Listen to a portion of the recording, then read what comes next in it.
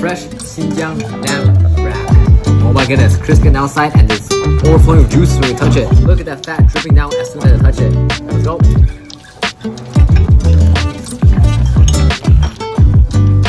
You're gonna like this if you like lamb.